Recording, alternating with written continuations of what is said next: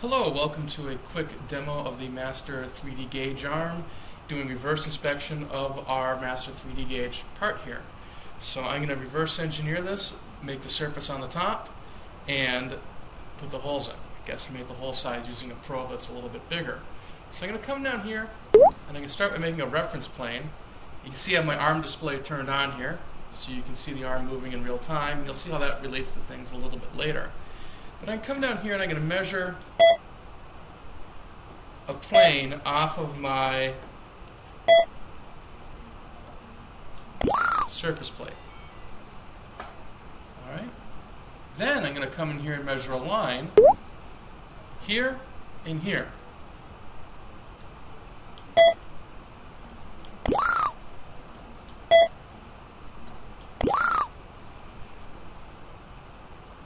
Alright, so here on my screen I have these, this plane and these two lines defined out in space. You'll see that right here. They don't real lot really align to this origin. So I'm going to make that happen. And to do that, I'm going to run my feature line. And what I'm telling it here, my primary plane in Z plus is my plane that I created. My secondary axis, X plus, is my line number one, and the origin will be at the intersection of line two, line one, and plane one. So I'm just going to hit OK. And there's my part will be aligned right with my origin right there at that corner. So I'm actually now going to turn off these features because I just don't want to look at them anymore. And I'm going to draw in four lines around the outside of my part. And you can see here my arm in real time.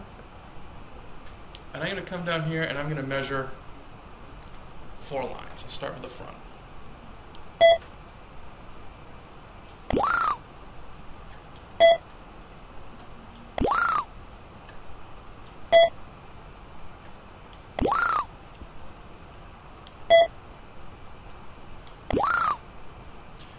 And there are my four lines defined. I'll just show you that from the top. My four lines are defined right there. And now while I'm in this measure mode, I'm actually going to go to my spline feature, and I'm going to turn on continuous points here. I'll set my filter to take a point every 25 thousandths. Now I'm going to measure the spline that goes along the front right here.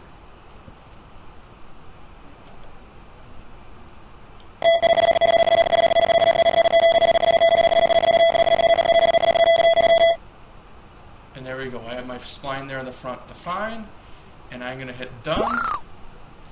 And now I'll do some CAD functions before I do any more measuring of my radii or my surface along the top.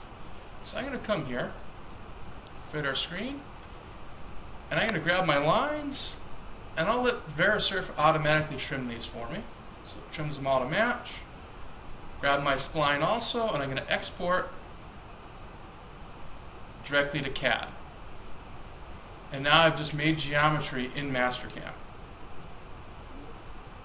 Right there. And I'm going to come to my trim command and I'm just going to extend the end of that spline up past the ends. And I'll come in with my trimming commands and trim my geometry there. That's Mastercam geometry. That's independent of my Verisurf right now. Now, I can extrude this up, but I don't really know how far to extrude this yet. So what I'm actually going to do is measure another plane. So I'll go here to plane. And I'm going to put this on single point measure again, and I'm going to measure four points. And this is just a guesstimation. I just want to actually be taller than whatever I measure, because I'm going to trim to that later. So I'm going to pick here, here, here, and there. And I'm going to hit done and close this out. And here's a little trick. I'm going to click on plane 1 and plane 2. And it gives me an average distance between them. So 947. I'll extrude that up an inch because like I said, I want to be taller than that part. So I'm going to go to Solids Extrude, just the command right side of Mastercam. And we're going an inch. So I've extruded that out and I have the basic shape of the part. Now, while I'm here, I'm going to put in the surface along the top. And a quick way to do that is I'm going to come here to my point command, continuous, and my filter's still set to a pretty tight tolerance here. So I'm going to leave that on. And the more points you get, the more accurate you'll be. I'm just doing a quick demo here, so I'm just going to come down and just trace along, trace along the outside of my part.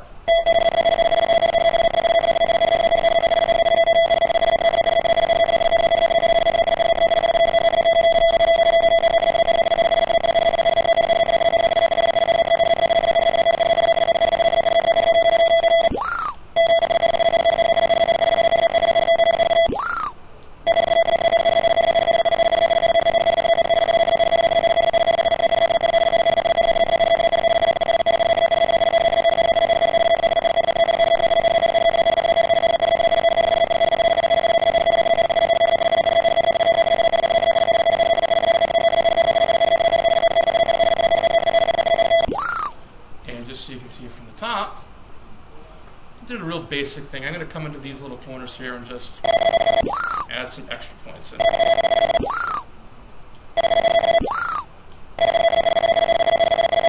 Again, the more time I would spend doing this, the better reverse engineering of, this, of the surface I'd have, which is just a quick doing a quick feed over here. So I'm just going to hit done. And I'm going to merge all these into one point cloud.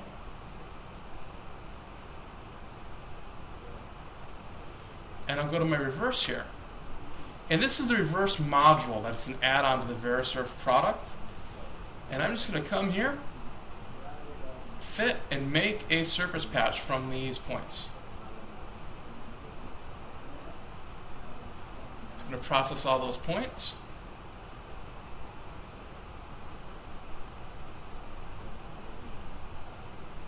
I'll hit OK.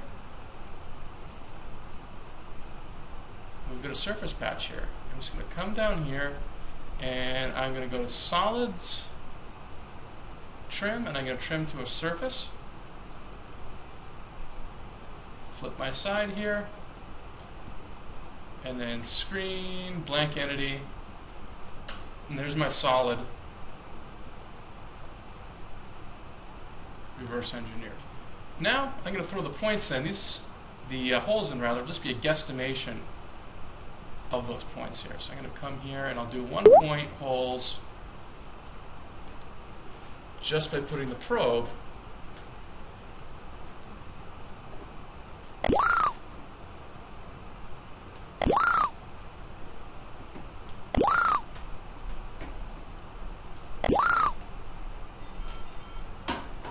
right there. And I'll export those to CAD.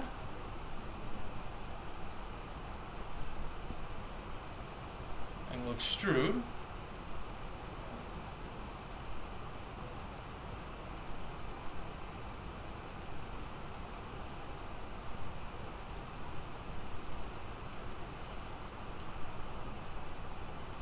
those holes.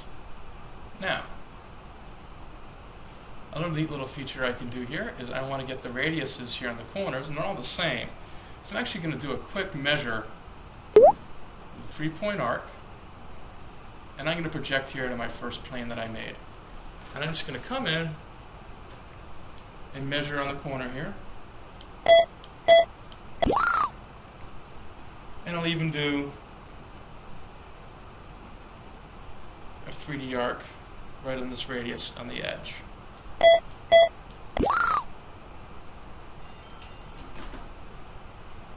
So I'm going to finish. I click on this arc, it tells me that its radius, if I expand this open a little bit, is 193. And I get 50 thou radius there, so I'm going to come in here and do solids, fillet, fillet. One, two, three, four. I forgot that size already. Just double check that in a second here.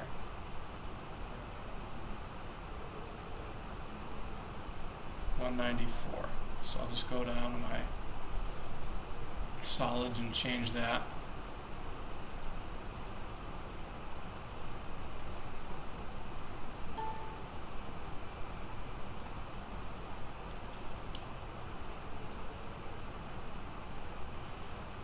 Alright, and I'll go to my measure over here, check the other one. Eh, it doesn't seem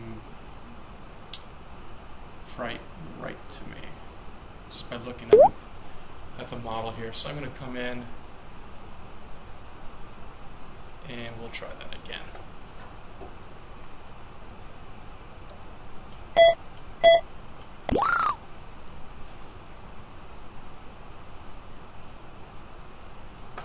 One eighteen. A little better there. Solids. fillet, fillet. And grab that edge on the front. 118.